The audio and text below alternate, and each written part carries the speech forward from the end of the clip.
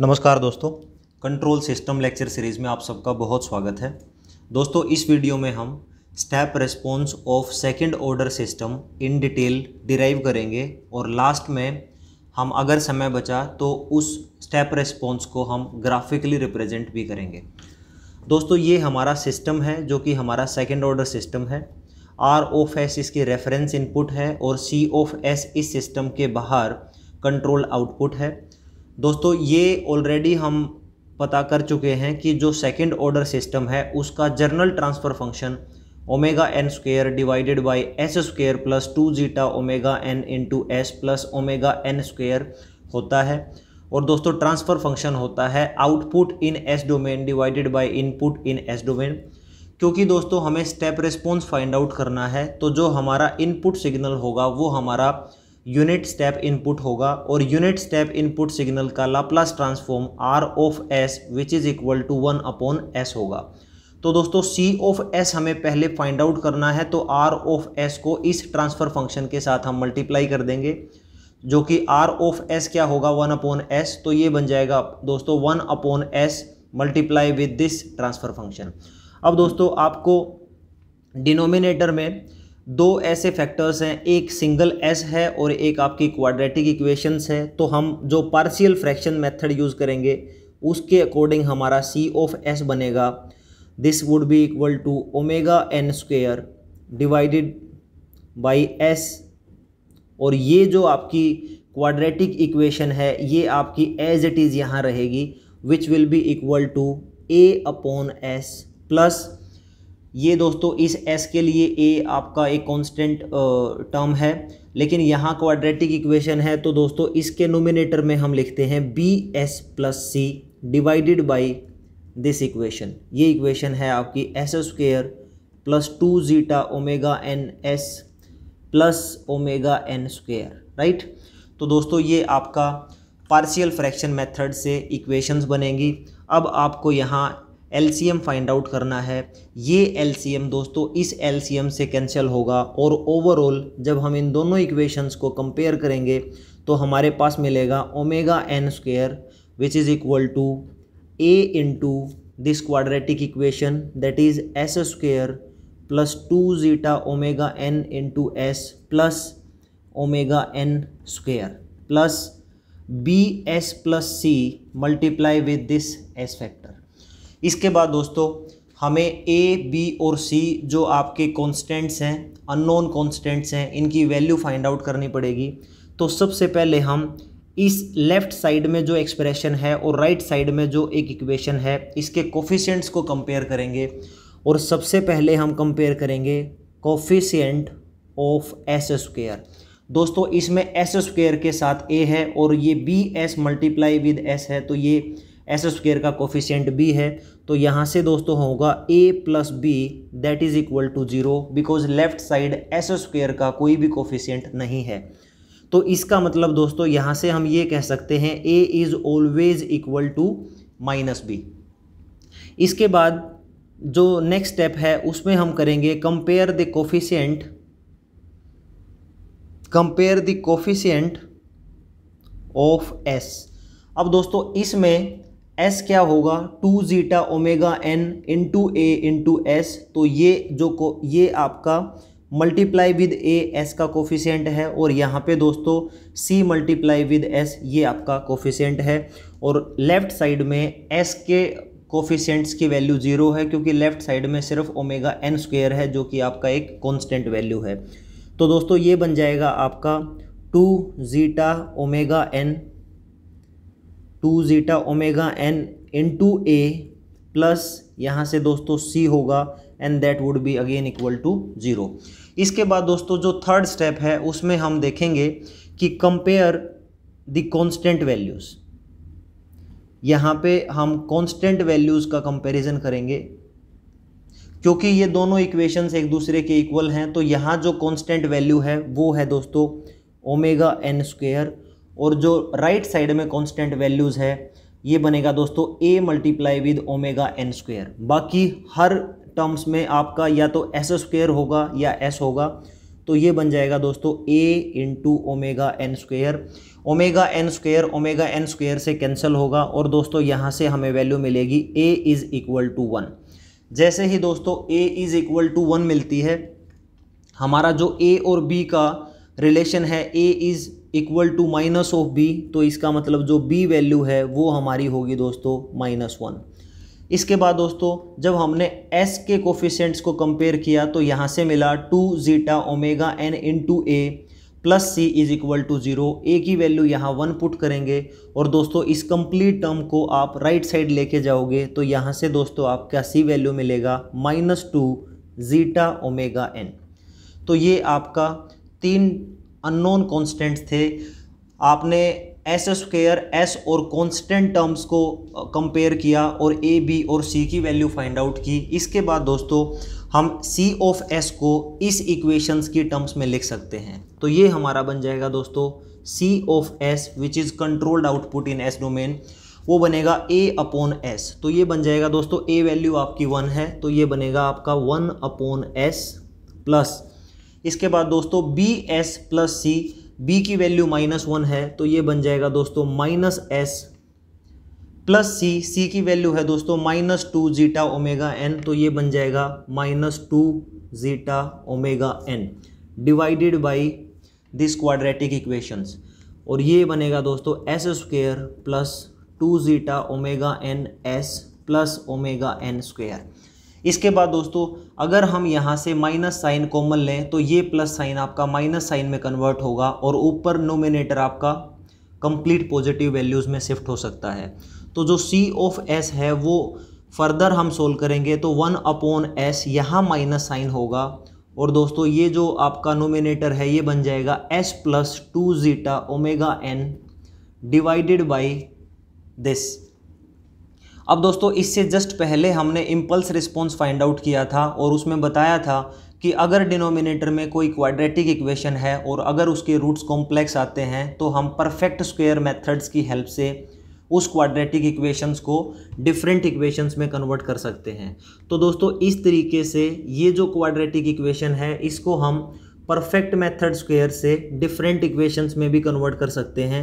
वो बन जाएगा हमारा S plus zeta omega n whole square plus omega n one minus zeta square under the root complete का whole square दोस्तों, अगर इसमें आपको कन्फ्यूज़न है तो आप प्रीवियस वीडियो देख सकते हो। वहाँ से आपको बहुत अच्छे से आइडिया हो जाएगा कि इस इक्वेशन में हमने परफेक्ट स्क्वायर मेथड्स यूज़ किया है ताकि हमारे डिनोमिनेटर में परफेक्ट स्क्वायर टर्म्स बन सकें।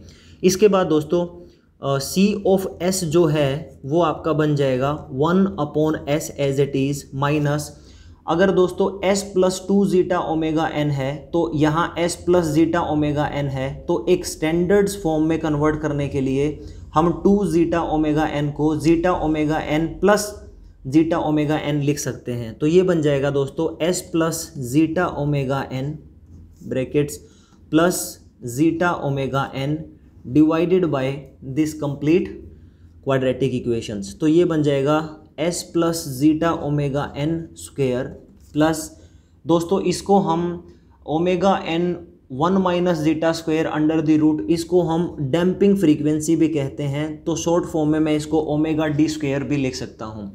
तो यहाँ से दोस्तों हमें यहाँ नोमिनेटर में दो टर्म्स हैं S plus zeta omega n plus zeta omega n इनको दोस्तों आप स्प्रेड स्प्लिट कर सकते हो। और इसके बाद जो सी ऑफ़ एस बनेगा, वो है one upon S as it is minus इस, ये nominator term divided by complete quadratic equations S plus zeta omega n divided by this complete quadratic equation S plus zeta omega n square plus omega D square.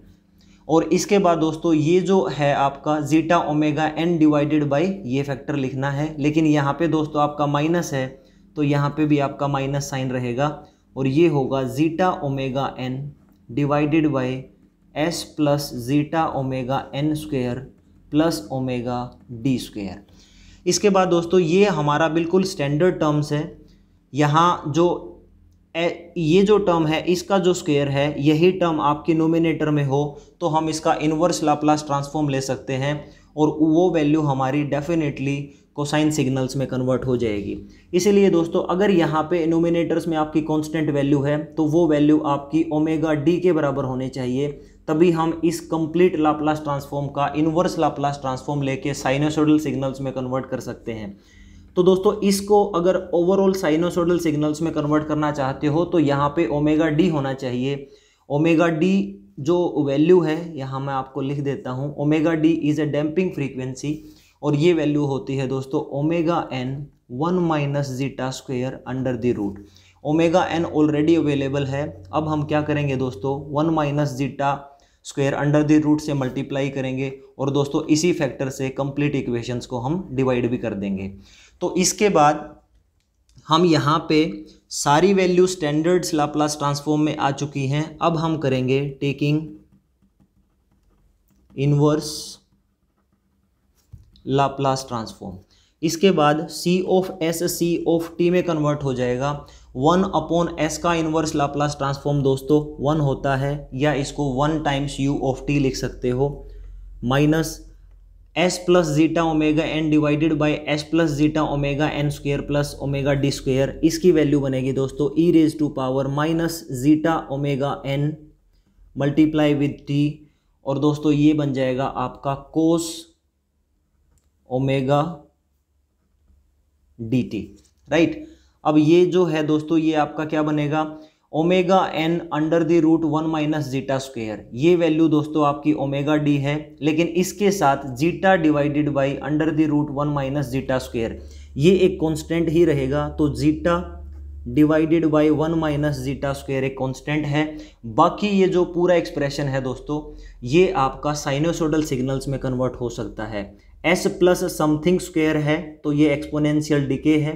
तो E raise to power minus zeta omega n into T into sine of omega D T right तो दोस्तों, यहाँ तक हमने solve किया। इसके बाद अब आपको E raise to power minus zeta omega n T divided by under the root one minus zeta square ये जो टर्म है आपकी, अब ये आपको कॉमन लेनी पड़ेगी। ये टर्म आप एक बार कॉमन ले लें इन दोनों फैक्टर्स से। उसके बाद हम देखते हैं कि रिज़ल्ट क्या मिलता है। C of T that is equal to one minus इस टर्म्स को हम कॉमन लेंगे E raise to power zeta omega n T divided by one minus zeta square under the root इसके बाद जैसे ही कॉमन लेंगे तो दोस्तों ये टर्म यहाँ मल्टीप्लीकेशन में होगी one minus zeta square under the root multiply with cos omega D T minus sine already बाहर है और सब कुछ हम ब्रैकेट्स में लेंगे तो यहाँ प्लस साइन लिखना पड़ेगा। वो बनेगा दोस्तों zeta sine of omega D into T. अब दोस्तों इसके बाद मैं यहाँ ये लिखना चाहता हूँ, अगर मैं इसको कहूँ this is this is sine of theta. One minus zeta square under the root, if I assume it sine of theta, और ये जो वैल्यू है zeta, if I assume this things cos of theta तो दोस्तों ये क्या बन जाएगा? यहाँ पे बनेगा sine theta cos omega D T plus cos theta sine omega D T तो ये दोस्तों sine of A plus B का फार्मूला बनेगा। और इसके बाद हम ये लिख सकते हैं कि one minus E raise to power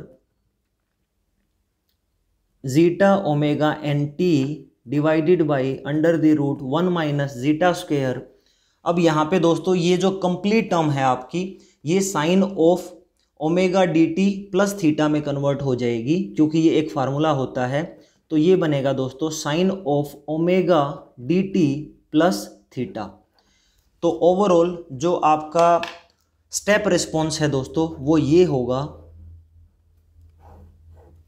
ये बहुत इंपॉर्टेंट रिज़ल्ट है।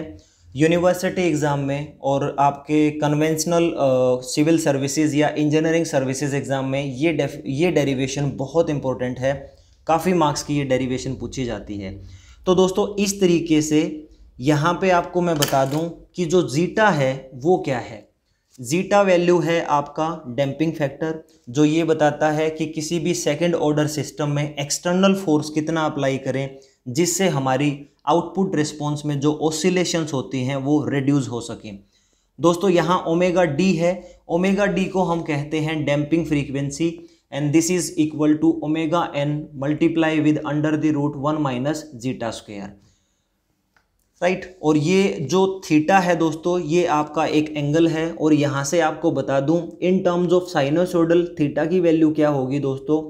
आपका, आपने यहाँ एज्यूम किया है sine of theta is equal to one minus zeta square under the root it means जो थीटा होगा वो बनेगा दोस्तों this is sine inverse of under the root one minus zeta square या दोस्तों, अकेला जीटा है, उसको आपने कोस ऑफ़ थीटा एज्यूम किया है तो ये बन जाएगा आपका cos of theta this is equal to zeta तो जो थीटा एंगल होगा that is always equal to cos inverse of zeta value तो दोस्तों, इस तरीके से स्टेप बाय स्टेप हमने इस वीडियो में कंप्लीट स्टेप रिस्पॉन्स की डेरिवेशंस आपके सामने रखी है। नेक्स्ट वीडियो में ये जो आपका स्टेप रिस्पॉन्स है सेकेंड ऑर्डर का, इस स्टेप रिस्पॉन्स को हम ग्राफिकली प्लॉट करेंगे विद रिस्पेक्ट टू टाइम और देखेंगे कि हमारा सेकेंड ऑर्डर सिस्टम्स का रिस्पॉन्स किस टाइप से दिखता है। So this is the end of the video I hope you like it thank you so much for watching this video